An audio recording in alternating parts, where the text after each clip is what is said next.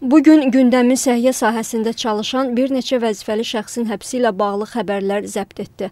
Demokratiya və İnsan Hüquqları Komitəsinin sədri Çingiz Qənizadə bildirir ki, korrupsiya ilə mübarizə çərçivəsində təkcə bu il xeyli vəzifəli şəxs həbs edilib, bir neçəsinə cinayət işi açılıb və bugünkü həbslər də bu fəaliyyətin davamıdır.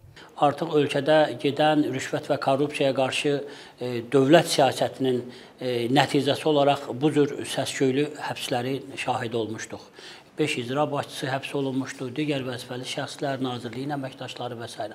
Amma burada yanaşma biraz insanlarda daha fərqlidir. Çünki burada daha çox insan kədər üzərində, insan problem üzərində kimlərinsə qazanc əldə etmək üçün bir qrupun təşkili və özdə Hippokrat and içmiş həkimlər tərəfindən bu hadisənin törənməsi.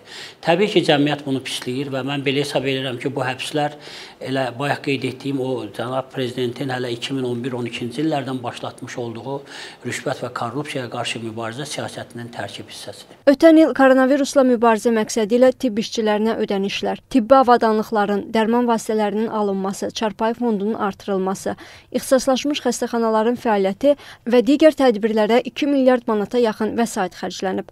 Bu il isə dövlət büdcəsindən bu istiqamətdə 261 milyon manat ayrılıb.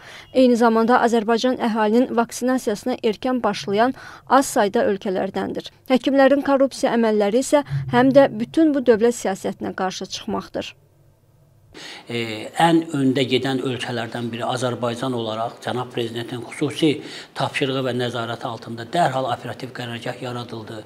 Müəyyən tədbirlər görüldü, bir neçə işçi qruplar yaradıldı, vəsaitlər ayrıldı ki, bu xəstəlikdən Azərbaycan xalqı iqtisadi cəhətdən dövlət olaraq əziyyət çəksək də insanların sağlamlığı və həyatı daha önəmlidir deyə bir siyasət həyata keçirilməyə başladı.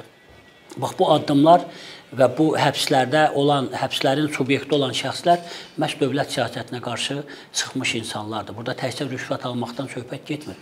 Həm də bayaq dediyim daha ağır olan bu siyasətə qarşı çıxıb insanları xəstəxanaya yerləşdirmək üçün.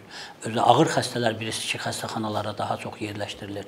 Onların ailə üzvləri ilə cinayət əlaqəsinə girərək 3000, 3500 hələ bəlkə daha çox e, pulların da alınmasının şahidi olacaq, istintaq bunu deyəcək və bunların üzərində onlara qarşı daha yaxşı xidmət və daha yaxşı yerdə, VIP yerlərdə və s. yerləşdirməklə daha da yaxşı tə, e, təchizatla təmin etmək adı altında pulların alınması təbii ki, qətiyyətlə pisləndirir. Qeyd edək ki, bu gün koronavirus xəstələrinin müalicəsini həyata keçirən yeni klinikanın direktoru Pərviz Abbasov və Fövqəladə Hallar Nazirliyinin Tibb Baş İdarəsinin modul tipli xəstəxanasının baş həkimi İmran Ağayev rüşvət alarkən yaxalanıb və həbs ediliblər.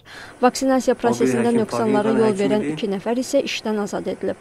Hazırda bu istiqamətdə araşdırmalar davam edir və hüquq pozuntusuna yol verən tibb işçiləri haqqında tədbirlər görüləcək.